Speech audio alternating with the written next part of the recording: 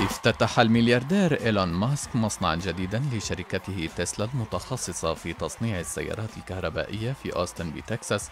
في احتفال حضره الآلاف وبدأ أشبه بحفلات نجوم الموسيقى. ويقع المصنع المسمى جيجا تكساس على أرض تعادل مساحتها 100 ملعب كرة قدم.